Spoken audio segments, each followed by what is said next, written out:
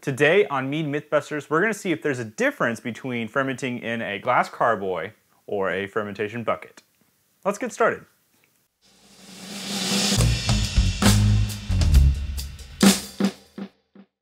Hey, this is Man Made Mead. I'm excited to share another Mead Mythbusters with you. Today, we're seeing if there's a difference between fermenting, like I said, in our glass carboy versus a bucket. So, um, theoretically, there should be no difference in the fermentations, meaning there should be no taste difference, there should be no performance difference um, in this environment because they're going to be fermenting at the exact same temperature, with the exact same recipe, the same gravity, everything should be the same. But I do have a feeling that there is a taste difference between the two.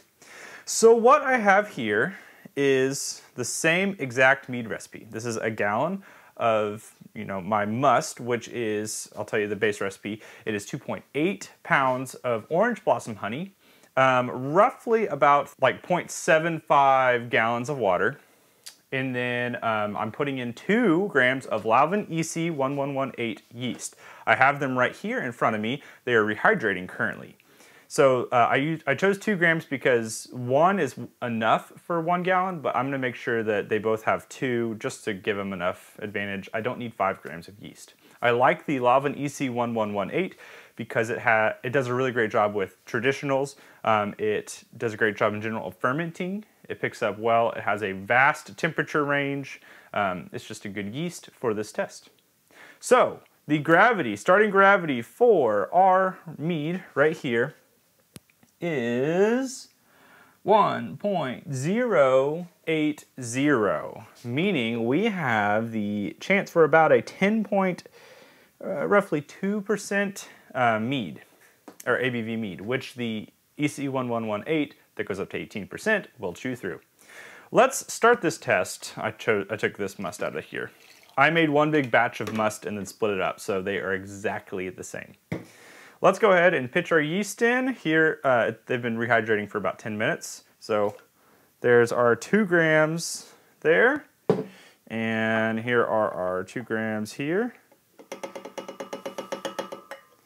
There we go. Uh, I will put my lid on here in a second. A couple quick notes. One, quote, advantage of fermenting in a bucket is that you can put more mead in than just the standard one gallon so that when you rack over you end up with one gallon. The one problem with this right here, even though they're the same recipe and same amount, is that um, when you ferment in a gallon like this, you, you lose some mead to sediment. So let's see if there's a taste difference after the primary. I'm gonna throw my, air, my airlocks on these and label them and we're gonna see what the difference is. Here we go. And we're back after the end of the primary for this test. So they both fermented the exact same. They finished at the exact same ABV. So both of them started at 1.080 and they both leveled out to 1.000. So they fermented very efficiently. There was no difference in fermentation time. I think that's important to note. So uh, there is a difference though, however, in the volume that I got from each one. This is the bucket version, and the one thing coming out of a bucket, it was a little harder for my auto siphon to get completely to the bottom of the container, therefore meaning I had a little less mead in the end. This has just a little bit more. This was the one that came out of the carboy. Um, the pro of fermenting in a bucket, or one of the pros, I should say, is that you can always put more mead in than you need so that you end up with what you want. So for example, if I wanted one gallon of mead, I could start with 1.2 gallons in a bucket after the primary, rack into a gallon container like this, and I'll end up with a gallon in total. So that's one pro. I'm not going to taste test them yet. I'm going to wait about two weeks and let them both settle down, let any yeast, anything else that needs to settle at the bottom, go ahead and do that and rack them if I need to. And then we will go ahead and of course do a taste test and see if there's a taste difference between fermenting in our bucket and in our carboy. We're back with the container test. It has now been roughly about two and a half weeks, almost three weeks since I last did anything with these. And I let them set you know, I rack them over one extra time to try to get off any extra sediment, so they've had that. Um, here's what we're doing. I am gonna taste test them blind. um, not actually blind this way, but I don't know what's what. I have four glasses here. I have two glasses of the carboy version, which is this one right here, and I have two glasses of the bucket, and they're mixed in. So I wrote on a label, I'll show on the screen right now, and then I, on the other, other side of it, I put like Sharpie so I can't see when I drink, I can't actually see what is on there. So um, you'll know here in a second what's what, but I'm gonna go ahead and mix them up even more just to really try and make this more true, as true as possible. So let me mix them up real fast. Okay, so I think I'm a smart person, but I don't think I'm smart enough to remember everything um, where I moved what. So now let's see if I can tell a difference between the two, having no idea what I'm actually tasting. So let's start over here. And again, I don't know right now. Of course, at the end of this, I'll you know, see what's what, but uh, you know what's what. So here is this one right here. Uh, it's got a nice honey uh, presence, a floral note, um, definitely a little bit of the uh, tropical side of the orange blossom.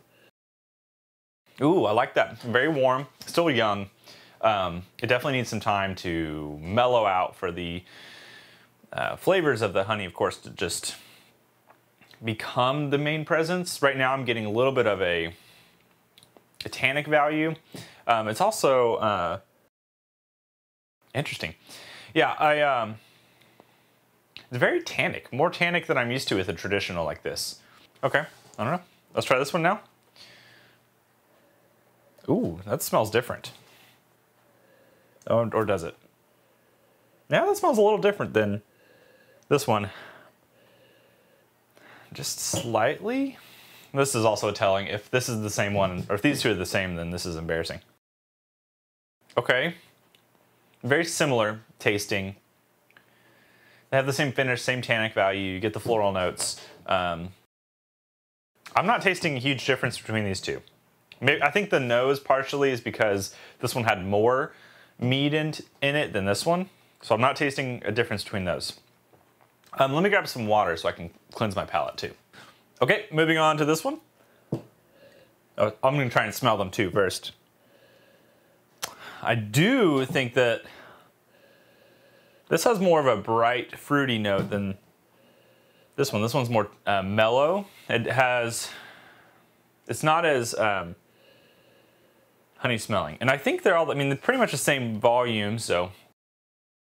This one seems brighter, maybe? I mean, it's very close to the other ones. Yeah, it's still very similar. Um, okay. Last one. Okay, that one. These two taste very, very similar. This one, they're they're um, this one's less fruity smelling. This one's very bright, like tasting. Has the same, ooh, has the same smell as these two though. Okay, well, I will say this. They taste all very, very similar.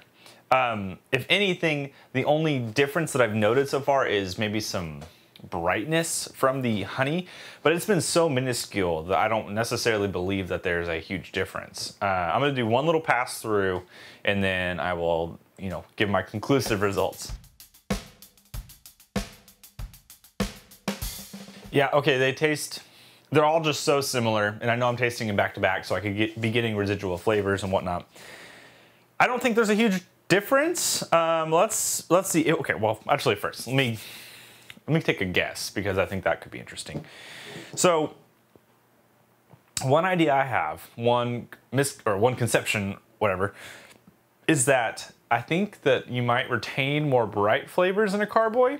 So, if I were to guess, I think that um, this one, and again, this is where I could look like a real idiot. I think these two were the brightest tasting, and this could all be, you know, my brain playing tricks on me, but I think these two are the brightest, so I think these are carboys, and I think that these two right here are the buckets. But let's find out. First one here, carboy, okay.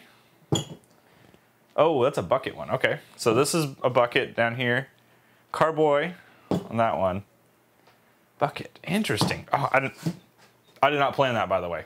These, I, I mixed them around. So, uh, so we have carboy, carboy, bucket, bucket. Now, again, there's not a huge noticeable difference between them. It's very, very minuscule. In fact, I'm really trying to search, I think, for those flavor differences. And in reality, um, if I was not conducting this test, I don't think I would necessarily have been searching for differences, therefore I probably would not have noticed a difference. So my conclusive results of this, I understand I could have brought someone else in for this, and this test I think that, um, no, it, it's very clear. Carboy versus bucket fermenting, there's not a huge difference. And uh, the main difference is the vessel you're fermenting in. The one pro, in my opinion, to fermenting in a bucket is that, I've said this before, you can start with more mead and end up with enough for a gallon. Both of these um, are gonna sit for a little while longer. They have some headspace on them. I'm gonna put some marbles or something in them to fill up that headspace. And then I will probably do something else like uh, add maybe some extra honey, something to bolster that. I don't necessarily know if I want to change them out of, um, or, you know, away from a traditional, but I'll find out. So thank you for uh, listening, watching this test. This has been really interesting so far. And um, I, I do believe that there's no, let's say that car, uh, fermenting in a carboy is 100%. Let's just, whatever, let's say that that. Fermenting in a bucket is 99%. It is like right at the same span. So I would not be too worried about what you're fermenting in. The thing I would worry about is aging. Make sure you're aging in glass and you're not aging in plastic. So thanks for watching. I've enjoyed doing this test. I have other tests on the channel and lots of content for you to watch. So I hope you will check those things out and I'll see you guys next time for another video. So with that, cheers.